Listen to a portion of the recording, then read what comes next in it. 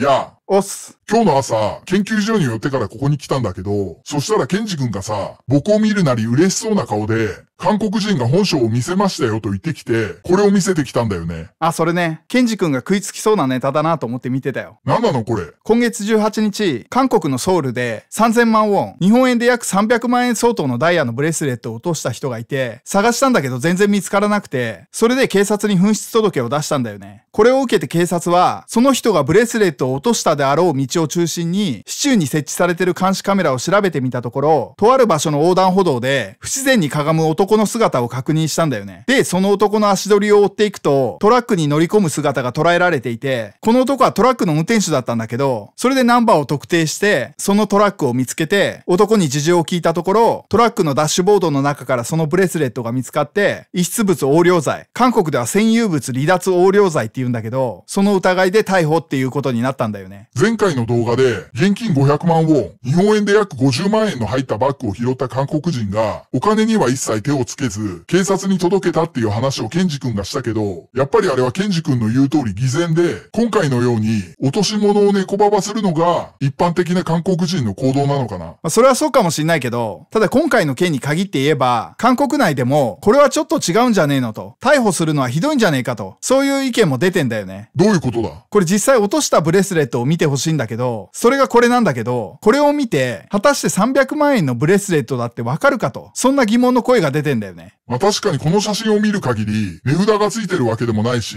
300万円のブレスレットかどうかはわかんないかもね。実際拾った男も、そんな高価なブレスレットだとは思わなかったと。おもちゃだと思ったから、トラックのダッシュボードに入れて保管していたんだと。そういう供述をしてんだよね。でも逮捕されてしまった。そう。それで韓国のネットユーザーも、3000万ウォンのものとは知らず、ただ拾って保管することが罪なのかとか、自分が拾ったとしても、あれが3000万ウォンのダイヤとは思えないけどとか、ローテンショーで売っているアクセサリーだと思ったのだろうとか、別に盗んだわけじゃないし、売りさばいたわけでもないし、拾っただけなのに何の罪があるのかとか言って、逮捕された男を擁護するコメントもたくさん書き込まれてんだよね。これは確かに同情の余地はあるかもね。下手に落ちてるものは拾わない方がいいってことだよね。拾うんだったら、速やかに警察に届けた方がいいっていうことだろうね。そうだね。じゃあ今回の件に関しては、ケンジ君には、韓国人の本性が明らかになった事件ではないと伝えておくよ。まあ、ただ俺は、拾った男の話も完全には信用してないけどね。ん？どういうことだ？おもちゃだと思って拾ったのではなく、高級品だと分かって持ち去った確信犯だったということか。これはあくまで俺の予測だけど、さすがに300万円クラスのブレスレットであれば、手に取ったらわかんじゃないのって思うけどね。というのは？このぐらいの価格帯になると、だいたい白金、プラチナ製だよね。まあそうかもね。で、博士は科学者だから知ってると思うけど、プラチナって身近な金属の中では一番重い金属なんだよね。金よりも重いんだよ。プラチナの比重って21.45あるからね。水の比重が1だから、水の21倍重いってことなんだけど、ちなみに金の比重は19.32、銀は10.49、鉄は7.85、アルミは2.71だからね。それと比べても、プラチナって圧倒的に重いんだよね。まあ、イリジウムとオスミウムの方が重いけどね。それは身近な金属じゃないよね。一般的に触れることができる身近な金属の中では、プラチナが一番重いんだよね。つまり、プラチナ製のブレスレットを手に持てば、そのずっしり感が伝わってくるということか。おそらく手に持てば、あ、これ違うなと。ただもんじゃねえなと。値段はわかんないけど、間違いなくおもちゃではないっていうことはわかると思うんだよね。しかもくっついてる石も尋常じゃない輝きを放ってるわけじゃん。だから実物を直接手に取ってみれば、逆に、これをおもちゃだと言い張る方がおかしいんじゃないのと思われるレベルだと思うんだよね。確かにそう言われればそうだね。あとこれは予測だけど、この価格帯のジュエリーって、どっかの有名なブランドの商品である可能性が高いよね。だからこの写真じゃ画像が悪くてよくわかんないけど、カルティエとかティファニーとか、そういうブランドのロゴが入ってるような気がするんだよね。仮にそうであるとするなら、おもちゃだと思っていたっていう主張はますます怪しくなるよね。